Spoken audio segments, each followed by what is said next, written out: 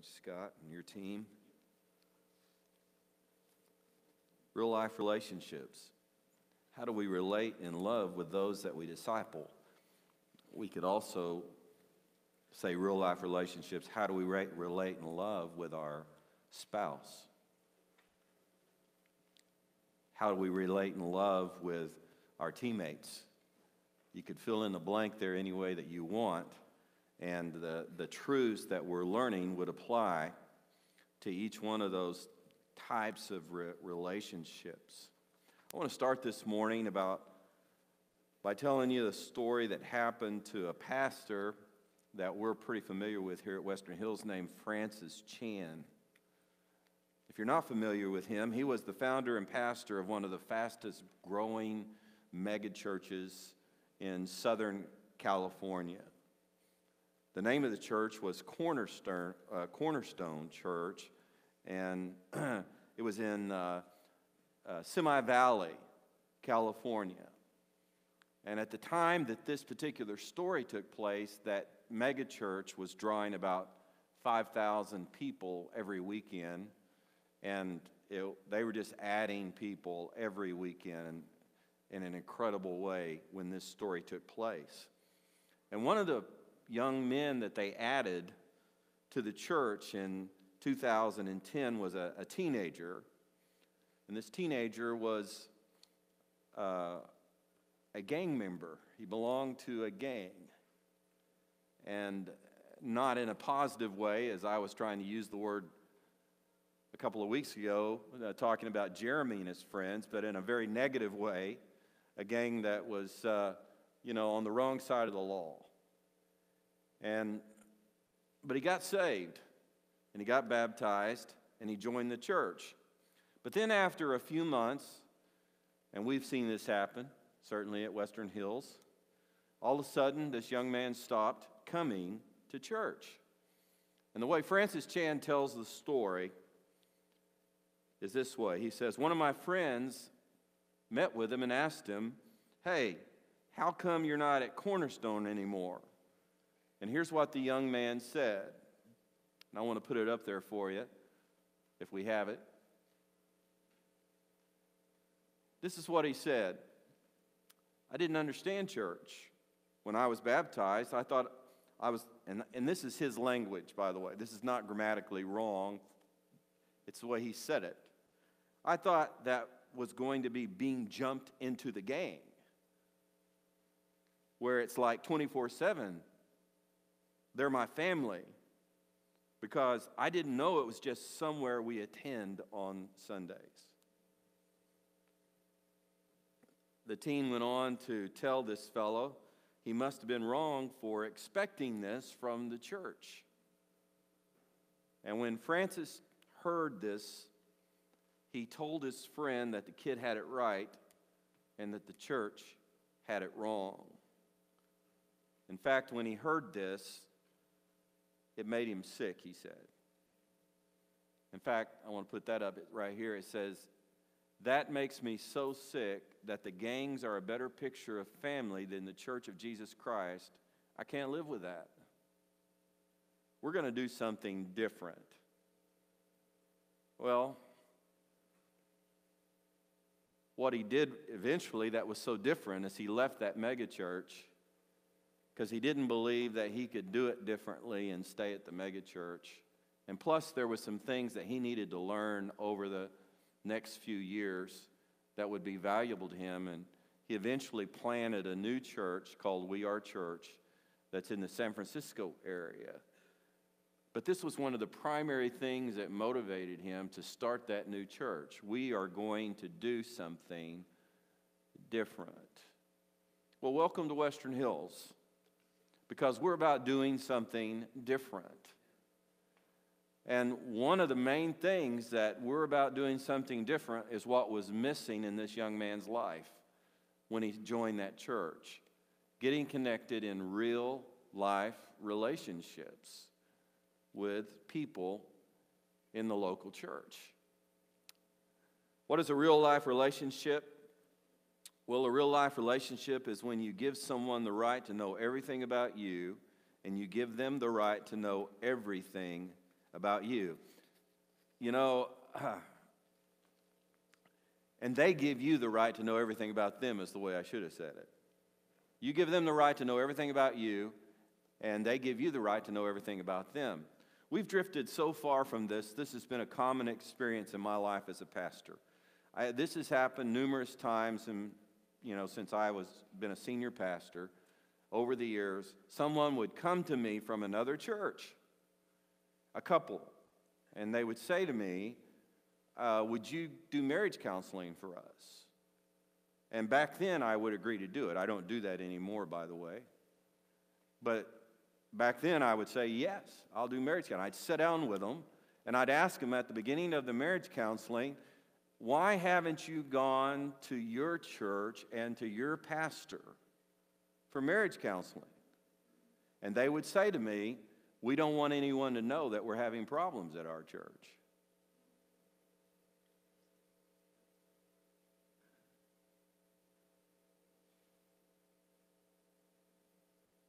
Now, what I do today is if someone comes to me for marriage counseling, I will say to them, I'll meet you with, with you one time, but if you want me to continue to counsel with you, then you have to do two things. One, you've got to attend here. And then, secondly, you got to get plugged in in one of our small groups and begin to get connected in real life relationships with other people. Because I know that in the long run, that's the only way they're going to really grow spiritually in a way that's going to be healthy and help them in their own personal marriage. Now, we believe real life relationships are the rails that the engine of effective discipleship travels on to reach the destination of spiritual maturity. Someone's going to really grow in Christ. We say it like this it can't be church in rows, it needs to be church in circles, because it's in circles that you can live out real life relationships with one another. In this series, we're learning from the life of Jesus what we need to do to form real life relationships with others. In other words, we're holding up Jesus as the example of someone who knew how to do that. He's the model, He's the one that we're following. You're not following me, we're following Him. And so we're really trying to look at the Gospels and how Jesus developed real life relationships and go, what can we learn from the way Jesus did that? Now, last Sunday, we learn that Jesus had a real life relationship with God the Father, and he had a real life relationship with his disciples. Jesus did his part to have this relationship by giving them the right to know everything about him. And we talked about how transparent Jesus was with the Father. And then we also talked about how he lived a transparent life with his disciples. No, he never had a sin to confess, but he was very honest about his, the way he felt about things. Definitely what he believed about things, what he thought about things.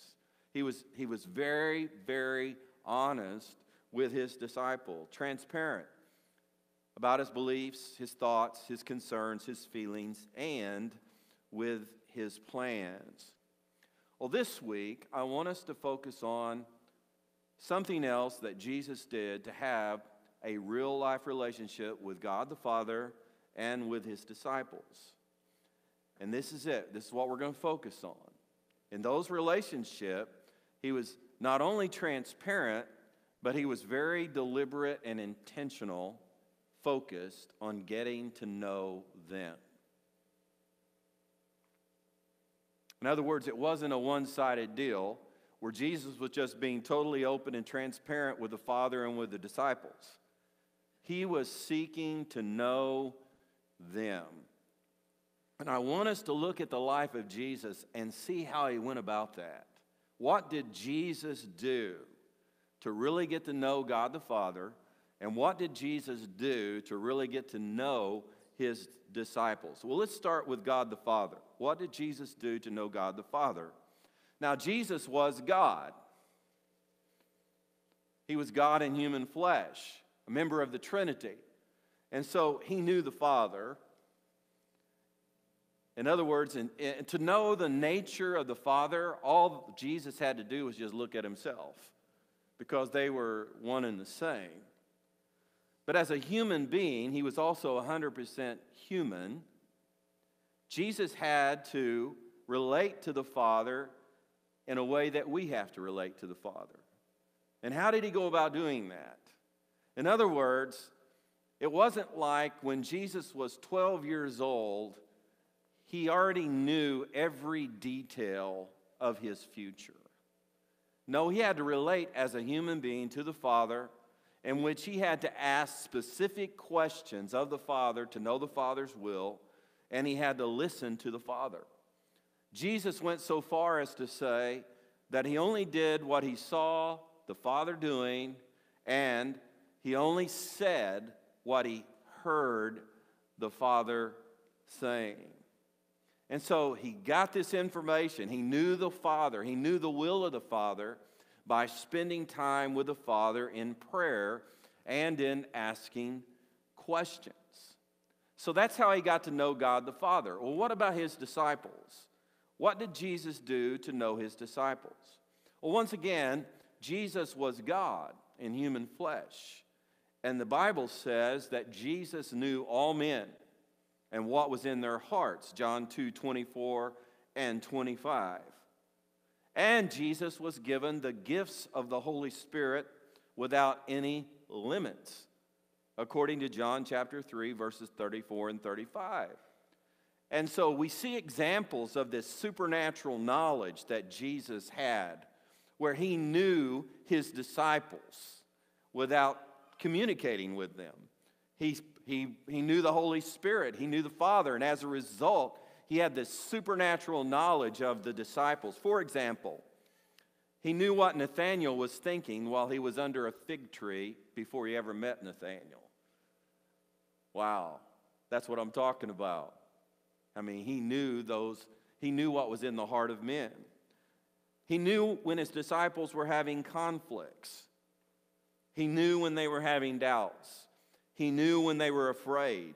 He knew Judas was going to betray him. He knew all his disciples were going to deny him. So Jesus knew these things about them because he was gifted by the Holy Spirit and he listened to the Holy Spirit as the Holy Spirit revealed things to him about his disciples. Some people would call those kind, that kind of information words of knowledge or words of wisdom that he had. He didn't gain those things by communicating directly with his disciples. There were times where Jesus would withdraw from everyone and everything, and the purpose was to know the will of the Father and to listen to the Holy Spirit. Luke 5:16 says, so he himself often withdrew into the wilderness and prayed. And yes, he was being open and transparent in his prayers about his own thoughts and his own feelings, but he was also asking questions and listening to the Holy Spirit and the will of the Father. In fact, it was after a time of prayer that he knew that he should choose these specific 12 guys to be his disciples. There was a multitude of people that were with him. But he went up on the mountain, withdrew into prayer in the wilderness, and he came down off the mountain and he chose 12 to be his disciples. Now, this calling was the beginning of a relationship with his disciples in which Jesus was always listening to the Holy Spirit in order to know and understand his disciples. And as he prayed for them, he listened to the Holy Spirit to reveal things about them that he needed to know. But Jesus also knew his disciples by the way that he communicated with them. Jesus had many discussions with his disciples while they were just walking from one place to another. He had discussions with them when he would retreat with them to solitary places so that they could, they could just spend time together. He had discussions with them when he sat down to have meals with them. Have you ever just analyzed the discussions that Jesus had with his disciples and what Jesus did in those discussions in order to get to know his disciples? You know what he did? Well, he did the same thing that he did with the Father. He asked questions and he listened to his disciples. Do you know that in the Gospels, Matthew, Mark, Luke, and John, there are recorded 300 questions in the four Gospels that Jesus asked people? You know, the four Gospels are a lot alike, and so there's a lot of repetitive material in the four Gospels. But just think about it. I could read probably the Gospel of Matthew. If I just sit down and read I think I could probably read it in an hour. And just to think that within that gospel account, there's so many questions that Jesus asked. In fact, I've never counted them exactly, but one Bible teacher who did says there's 307 questions, if you want to know, that Jesus asked in the four Gospels.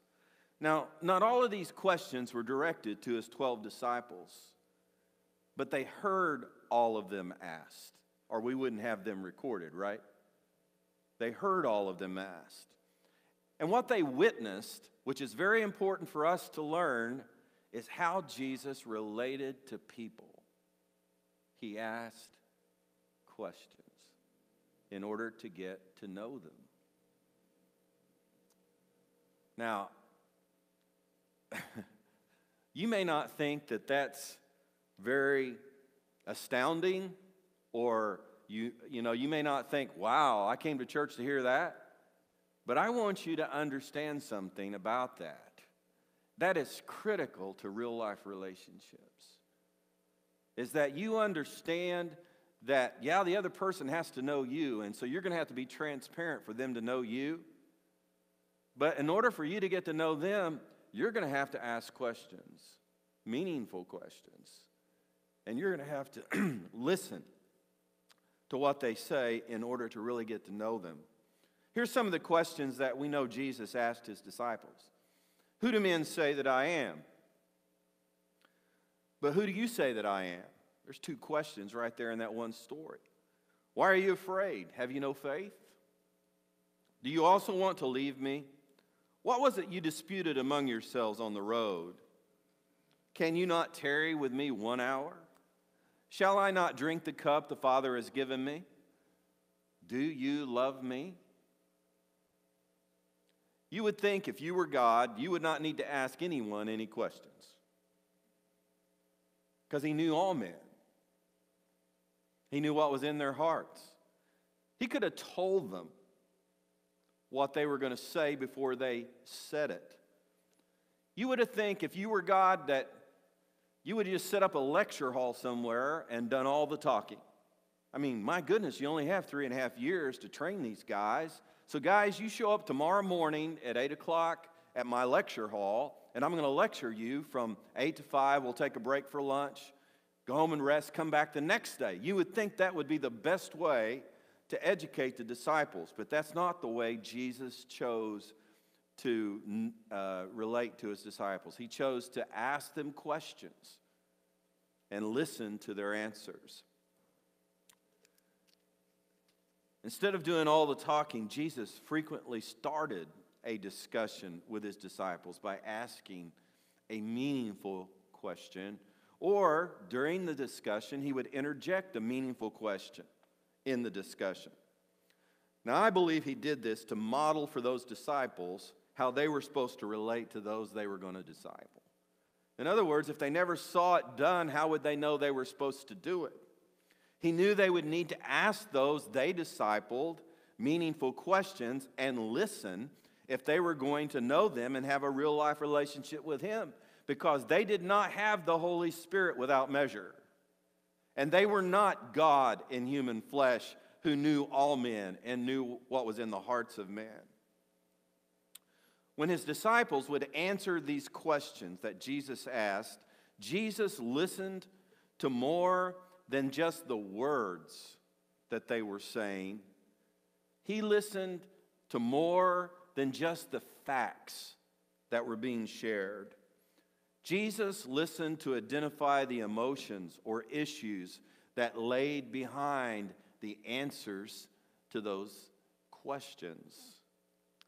You know, when I, when I first saw this in Jesus many, many years ago, it confronted two weaknesses in me that hindered me from knowing someone. and having a real life relationship with Him. And here's the two problems I had I wasn't any good at asking meaningful questions like Jesus was. I didn't even know where to start when I first saw this many years ago.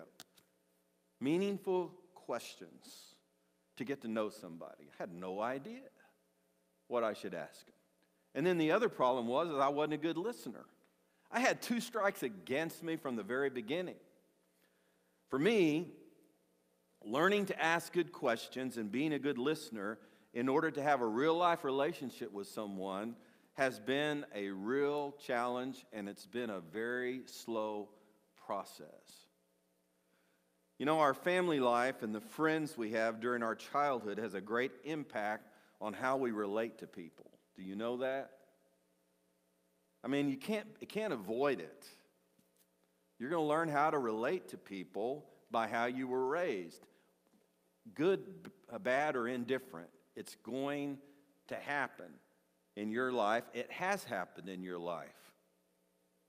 So I came from a single parent home, as you most of you know, and the most significant person in my single parent home was my father.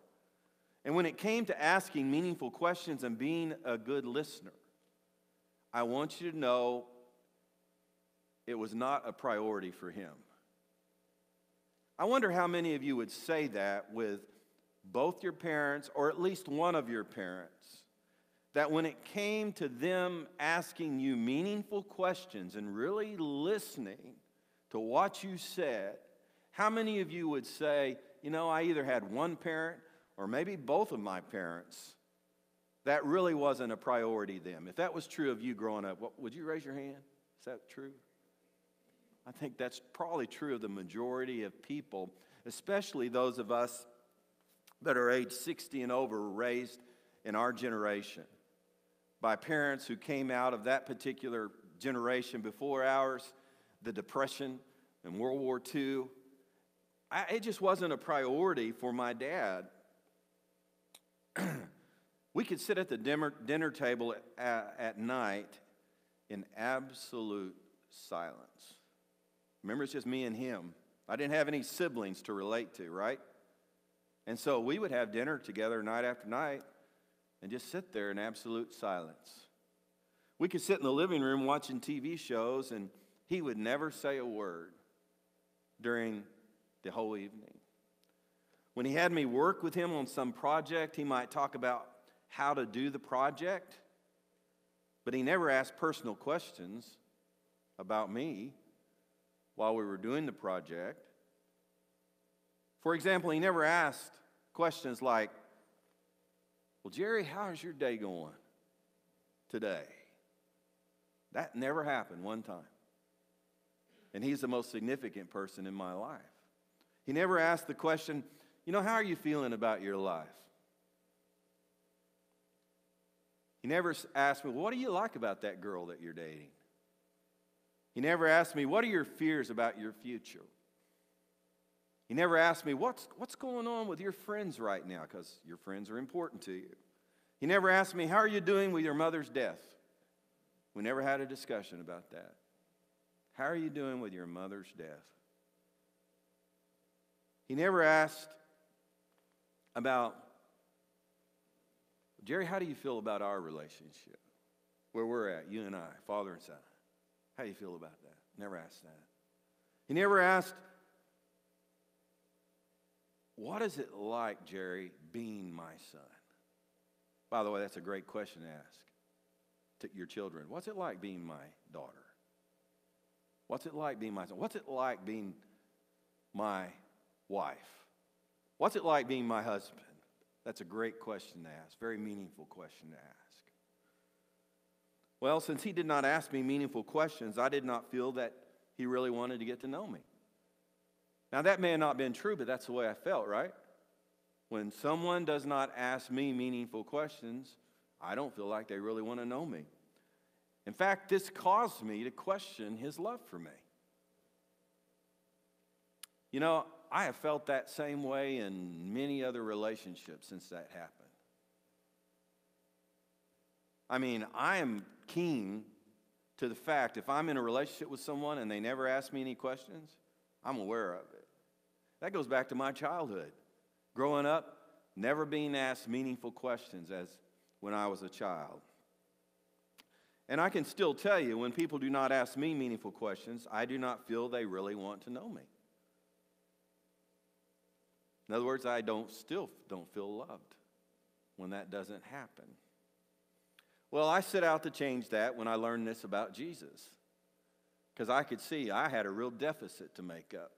When it came to asking meaningful questions and being a good listener, that was not the way I was raised.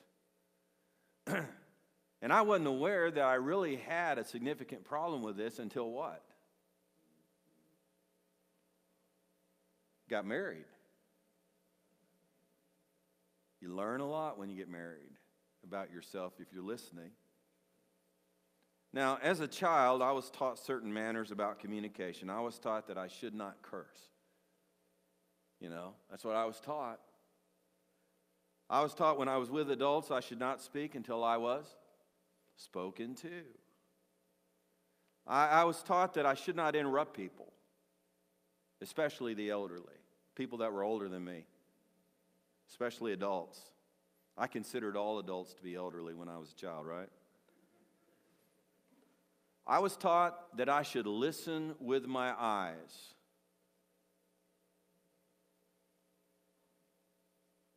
I was taught that I should listen with my eyes. You know who taught me that? My coaches. Because you know what happened if you didn't listen with your eyes when you were in a huddle? It wasn't going to be good. And so I was taught, starting when I started playing organized ball, you know, when I was in the first grade, I started playing organized baseball. Coaches say something like, listen with your eyes. And a lot of times you'd end up running just because you weren't making eye contact with the coach as he was talking. So I learned to listen with my eyes.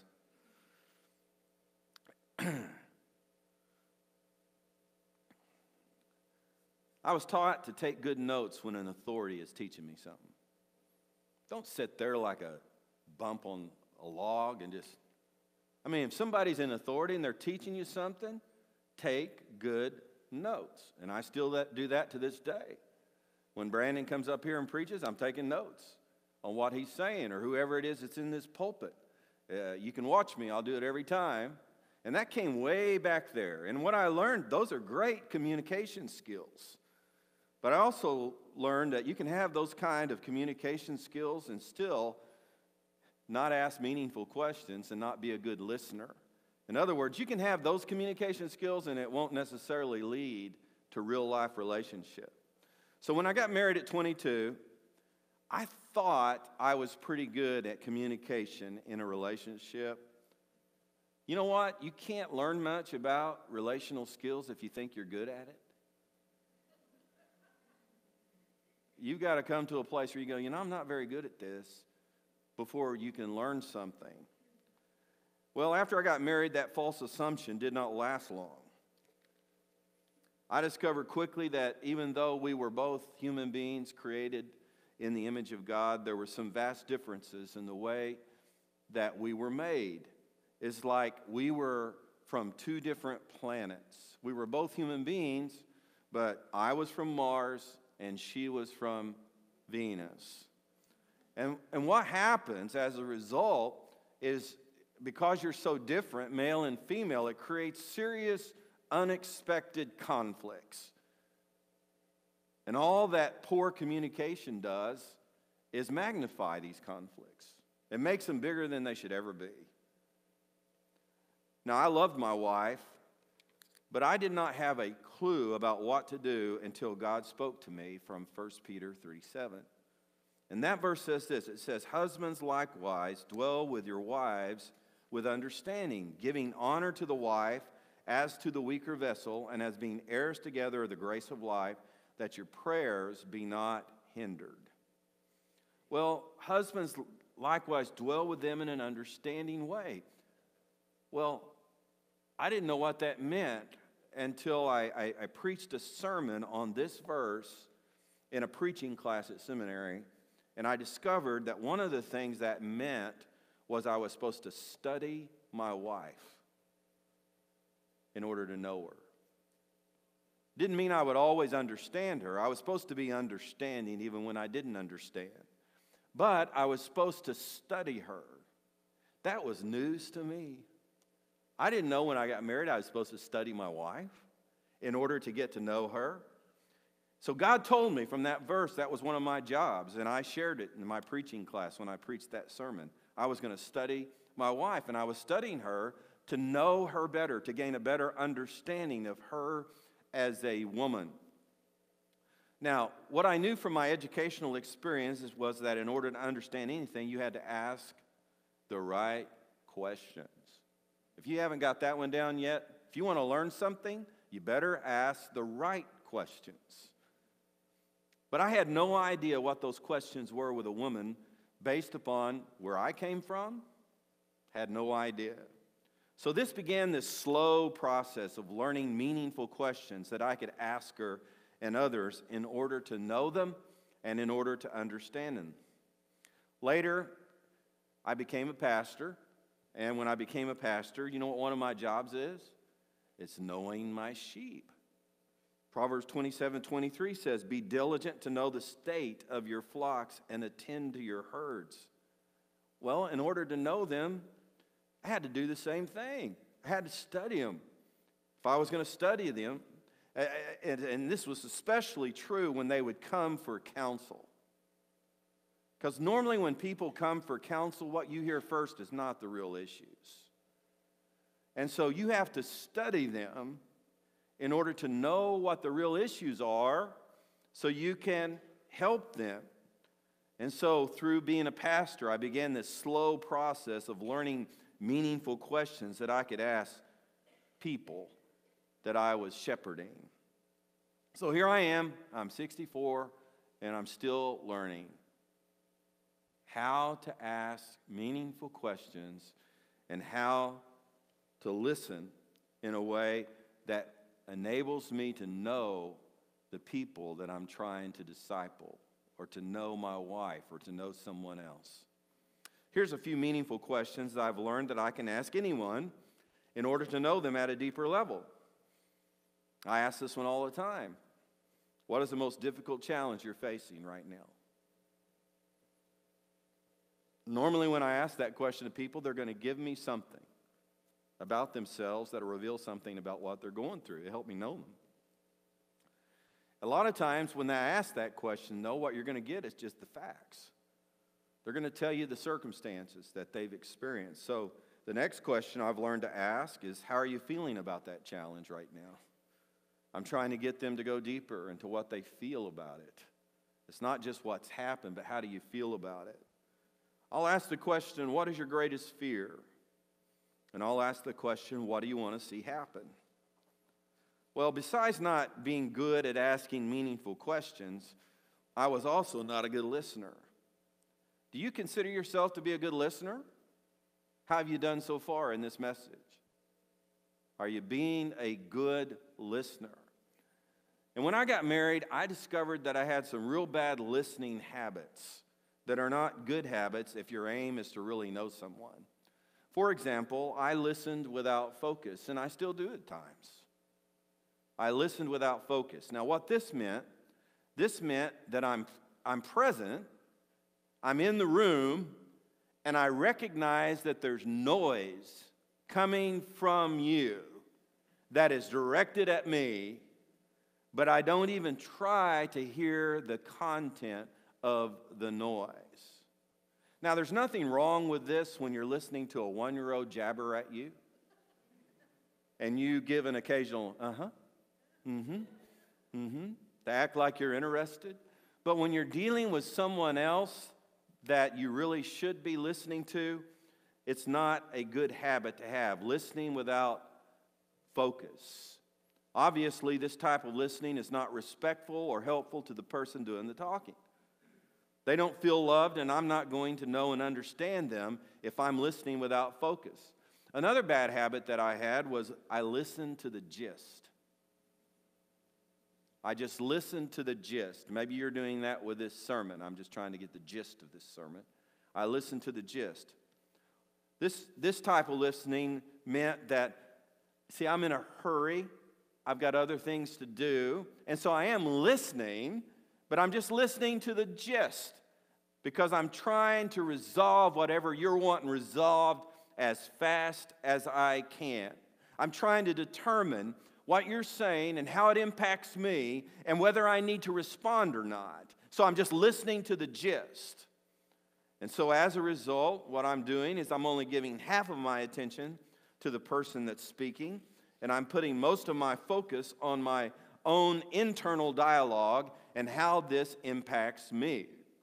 The person speaking can usually tell that my attention is elsewhere, and they're often left not feeling heard. They don't feel loved.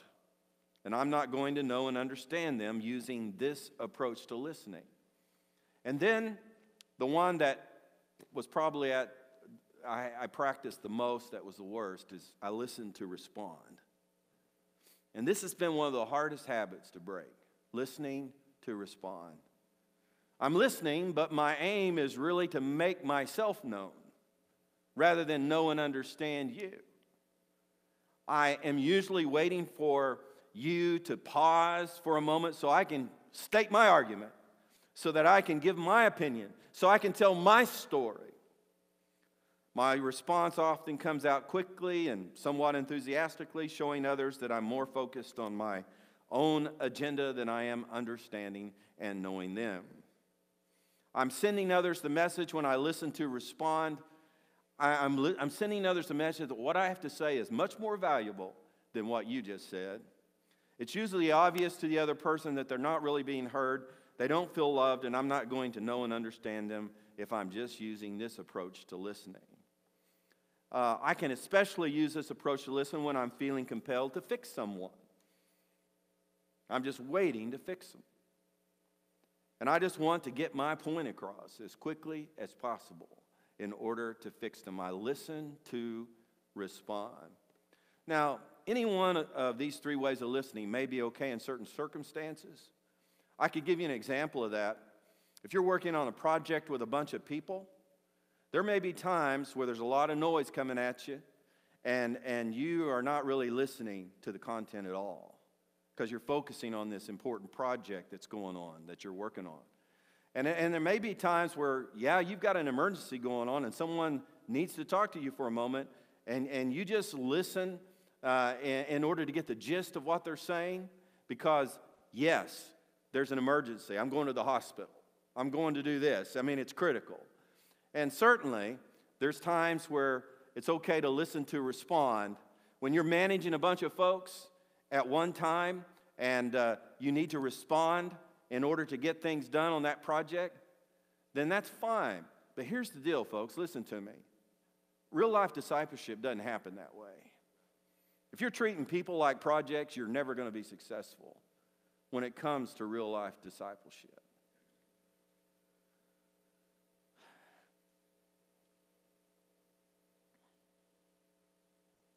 If I'm really going to get to know someone, I need to be like Jesus. I need to ask meaningful questions and listen to hear and understand them. Now, in order to get this done, I've got to overcome my greatest enemy. You know what my greatest enemy is to over, overcome these bad listening habits and asking meaningful questions? I've got to overcome my greatest enemy, and that is self focus. That's my greatest enemy to asking meaningful questions and uh, being a good listener. Asking meaningful questions takes time. If I'm self focused, I'm not going to give you the time. I'm not going to do it. Listening to someone to try to hear them and understand them takes time. And if I'm self focused, I'm not going to give the time to that. You know, Jesus was a great example of this. In Philippians 2, it says, Do nothing from selfishness or empty conceit, but with humility of mind, regard one another as more important than yourselves. Do not merely look out for your own personal interests, but also for the interest of others. Have this attitude in yourselves about other people that the other person is more important than me. have this attitude in yourselves, which was also in Christ Jesus. So for Jesus, it was a greater priority to know others than it was for them to know him. Isn't that amazing? Isn't it amazing that we've got a God that's that way? Yeah, he wants to make himself known. That changes us when we come to know him. But do you understand that God himself, Jesus, was the manifestation of who God is in human flesh? He's wanting to know you. You know what that should make you feel? It should make you feel loved. You know, if I thought God was like my earthly father was when I was a child, I would think, God doesn't want to know me. And I would also not feel loved by him. But knowing that God is Jesus and God is like Jesus, and the way he wanted to know his disciples and what he did to know them, asking meaningful questions and listening to their answers.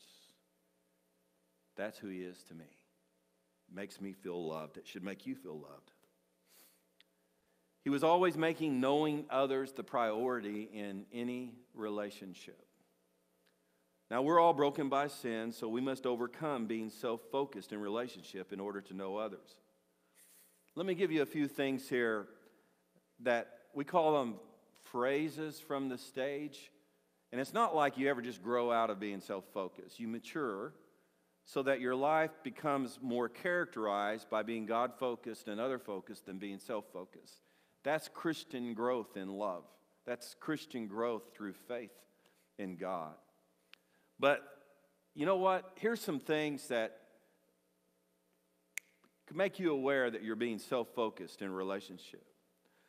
Here's some obvious signs that I'm being self focused. I don't ask meaningful questions that would help me know people and understand them. I don't. That's a pretty good indication that I'm being self focused.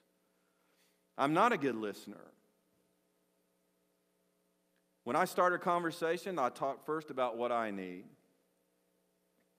in the conversation. I interrupt what people are saying so I can talk. I interrupt people when they're having a conversation with someone else. I tell people, when I'm being self focused, I'll tell people the same thing over and over. When I'm being self focused, I prejudge people. I jump to conclusions about them before I really know the facts and the circumstances. When I'm self focused, I share those judgments with others that I shouldn't share it with. When I'm self focused, I get annoyed with people when I do not feel they're listening to me. I don't stop what I'm doing to listen and understand people. I allow other people to interrupt a conversation because the other person is more important to me than the person that's been talking to me. When I feel I'm being personally attacked, I focus on how I'm offended rather than focusing on the needs of the person that offended me. And if I'm being self focused, I just want to isolate myself from people. That's all the result of being self focused. Now, I've got some good news and bad news about these bad habits. The bad news is there's not a quick fix to these bad habits. The good news is that God can change us through Jesus from living a self focused life to a life that is focused on discipleship through real life relationships. And you know, the best place to grow and overcome being self focused is to be connected to other believers that are sharing real life relationships that want to share a real life relationship with you. That's the best place to grow and mature and overcome being self focused. You know, we don't develop the fruit of the Spirit living in isolation. In Galatians 5:22, Paul talked about the fruit of the Spirit-filled life. And he said, "But the fruit of the Spirit is love, joy, peace, long-suffering, kindness, goodness, faithfulness, gentleness, self-control." Can you do any of those things in isolation? Or are they lived out in relationships with other people? Well, how can you be gentle unless you're in relationship with someone else? No, the fruits of the Spirit are things that grow up in our life as we are connected with other people in real life relationships. In first in second Peter, Peter said But also for this very reason, giving all diligence, add to your faith, and he get, says these things virtue, knowledge, self control, perseverance, godliness, brotherly kindness, and to brotherly kindness, love. You see, you can't, you can't add these things to your faith without living in real life relationships with other people. Christian growth happens in community with other believers. Any change in the way that you relate to others always begins with a change in your personal relationship to God. We can't live isolated from Him and change how we relate to other people. It won't happen. No, you can modify your behavior a little bit, but you cannot really have a change of heart being isolated from God. Only Jesus can change the human heart to love people the way He loves us. Will you receive Jesus? You got this God that wants to know you. That's incredible. You're one person out of over six billion on the earth right now or more, and He wants to know you personally and intimately. He wants to walk with you. Isn't that incredible? That should make you feel loved by God. And He wants that so much to know you and to have a real life relationship with you that He was willing to make this incredible sacrifice that we cannot calculate the price that He paid in order so you could have that relationship with this God that wants to know you. Jesus. I just, I can't comprehend someone turning down that relationship. Why would you? Receive Jesus. Will you answer his call to make disciples through real life relationships? Will you learn from Jesus to be transparent? Will you learn from Jesus to really get to know people by asking them meaningful questions and really listening to their answers.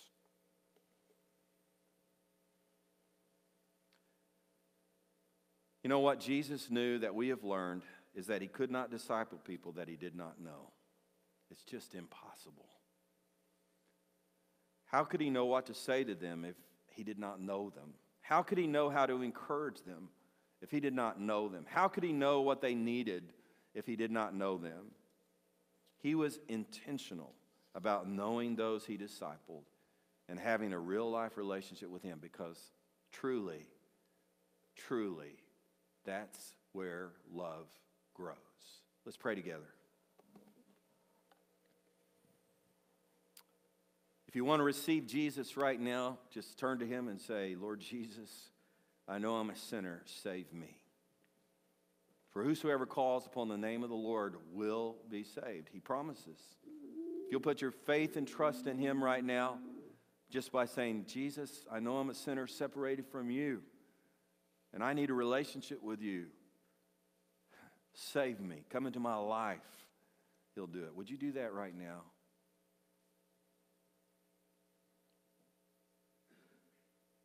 And if you would do that, what you need to do next is you need to follow him in baptism. And in order to follow him in baptism, you can express that one of two ways. You can either put it on a connect card that you need to follow the Lord in baptism, or you can come to talk to me and tell me that, hey, I've received Jesus and I want to follow him in baptism.